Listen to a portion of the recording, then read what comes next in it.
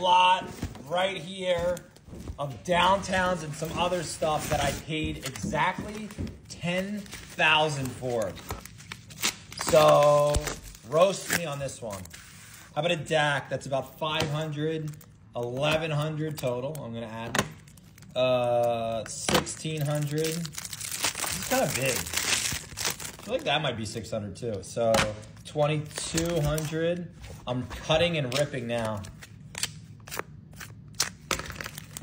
Where are we at? 2200? All right, let's go. Um, 2800, 3400, 3600, 4100, 4600, 5100, 5600. That's a one of one. We'll say 6,000.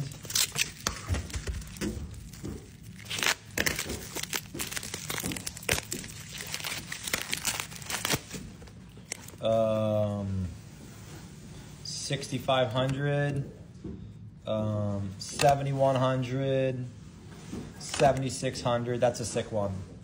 Uh, we'll say 80, 8,300. I only have two left. This better be bangers. These better be bangers. Oh no, that's like a hundred dollar card. 8,400. That's a big one. That's like an $800 card at least, 9,200. Okay, and then 10. See, that's right around exactly 10K. And I thought I paid um, close to 100% comps on that lot. So that all makes sense. What do you guys think? Do I got? Did I get hosed? Did I make a good deal?